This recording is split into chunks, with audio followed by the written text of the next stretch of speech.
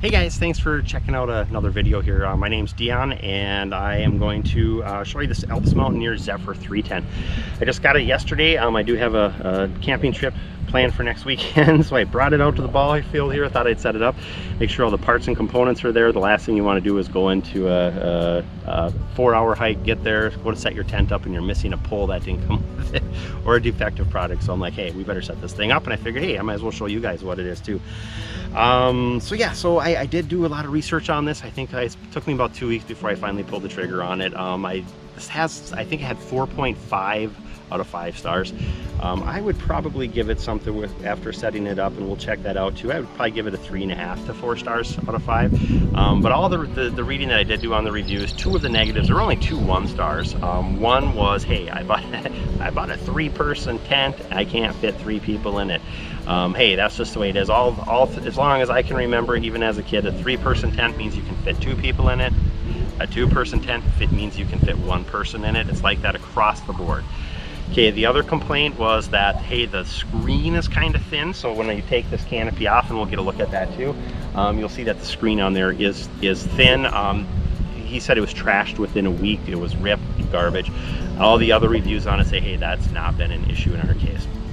So I'd be the judge of that. To me, it did seem a little bit on the thin side too, but we'll see as we put some use on it um, next week here. So yeah, so if this is the type of content you would like, um, I'm always in the outdoors. I'm in Min northern Minnesota here, so I spend a lot of time up by the Superior Hiking Trail along Lake Superior, as well as the Boundary Water Canoe area up in that uh, uh, area of, of the state of Minnesota. So hit subscribe, and we try and put out about a video about once a week here.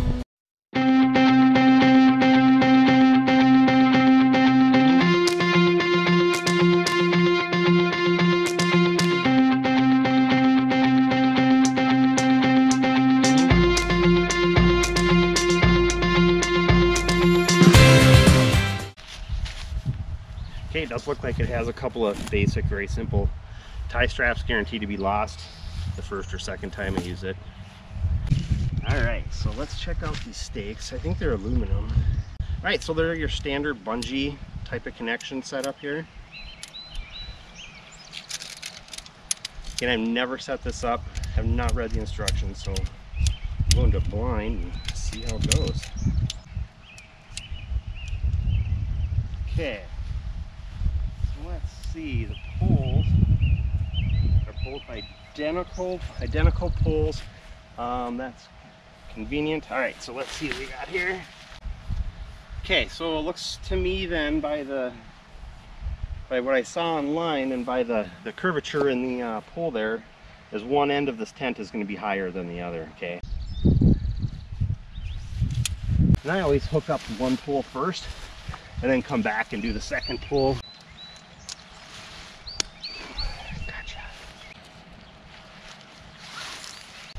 tension on here. All right, there we go.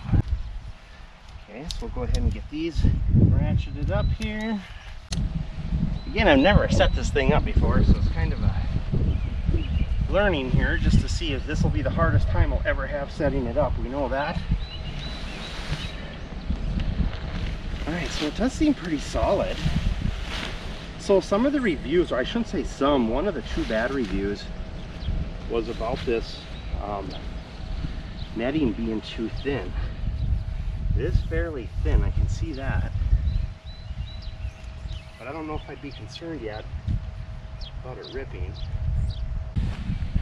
Okay, so here you, we do see this crossbar. Okay, so we, it does go in each one of these grommets. There's one on each end here. Okay, and if I back up, this it's on the tall side and make sure and thread through um, this piece here. That'll give you a lot more of the stability. Okay and you'll see there is a what is that about a 45 degree angle. Um, that is on the tall side.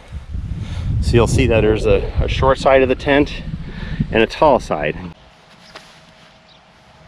I'm gonna bring you with me.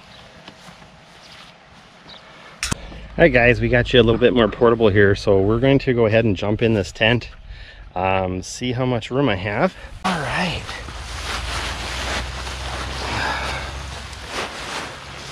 Okay, so my head is touching and my feet are touching. Okay, so see that? then again, my head is touching. So if I were to lay it more of a diagonal, then it's not as bad.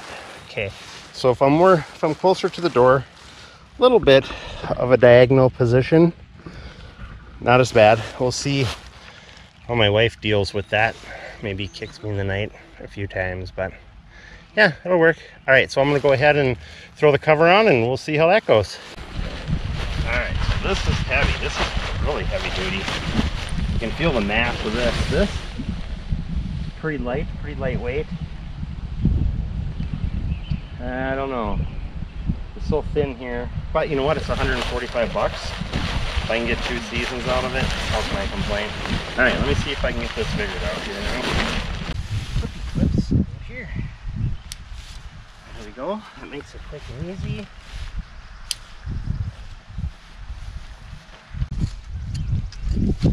And we'll pop out some stakes. I'm not gonna stake the whole thing down, but least give us a rough idea here. See what else we got in here too. Oh yeah, we got our tie down ropes. We got a patch kit in here too. Nice. I always like to angle these. Make sure and step them down just a little bit so you're not tripping on them. These are actually nice, nice heavier duty aluminum stakes. All right, so we're gonna go ahead here and check this out.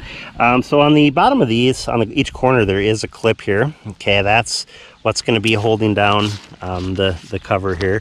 And the clips can be tensioned, so I'll go back over to one here that's still in place. So that's kind of nice. You know, if that clip is a little bit loose, tighten it up, okay? You're also gonna see here, and I, I pegged this one in, there are two grommets. Okay, so the nice part about having the two grommets is if you want to tighten that up a little bit like I have in this case I do have it on the inside grommet. If I want a little bit of a looser tent I can put that on the outside grommet. Okay so that's cool. What I wanted to show you is this window. This window's pretty interesting. Okay so we have the window up in here and then we have this piece. So when it's down and then when it's up you can just use your velcro here and there you go. Okay I don't know how good that's gonna be in a high windstorm but it keeps the air flowing potentially. We'll crawl in there in a second see how that goes. Okay we do also have another um, window right here. So again you can string this out pull it down tighten it up keep that cross ventilation going. Okay so we do have a velcro catch on the bottom there. Okay we're gonna go ahead and open that up. Okay we do also have our cross ties here see if I can do this one-handed. There we go. That'll keep that open. There's two of them there. I just have one temporarily. Okay, so there is a vestibule on each side, so you can store some gear under here. Um, you could stretch this out more than I have now. Okay, to help give you that more room. So at least you have some room under there for your boots, some of your gear. There's not a lot of space there. I don't know if your pack would fit there. Maybe, but definitely some boots and, and some other gear. Okay, so let's go ahead and jump back in here. Okay, so we're back in our tent here. We got the, the cover on. Um, we'll just take a little look around here. Okay, so again, two vestibules, two doors. That's nice. Okay, so here's my side. We're gonna lay back down in here. Okay, we do have our gear storage right here, which is nice. So around the door, Okay, so around the door seal is, is where I'm hearing the complaints. I should say, I think there was a couple complaints online about that. And they do say to put some seam sealer um, on this. But they do also say as you're going in and out of the door, you can see how severe the angle is. Um, I could see you getting wet coming in and out. I mean, you can do the quick shake off, of course but still I, I can see that being a potential issue but not a big enough issue to make me not want to buy this so yeah.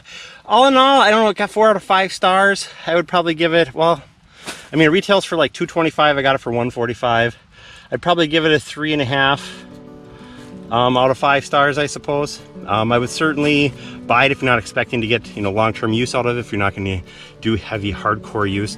But I mean I do again have the three person here and there's only like a half a pound from the two person to the three person. So I was like, why not? You know, why would you not pay that? Um, I think it was 15 bucks extra and a half a pound. So why not go for the three person? So absolutely. All right. So if this is the type of content that you like, um, please hit subscribe. Um, I usually put out a video here about once a week religiously, and we're always up on the North Shore into the Boundary Waters on the Superior Hiking Trail. So if you're into the outdoors, if you're into staying active, this is the channel you want to check out.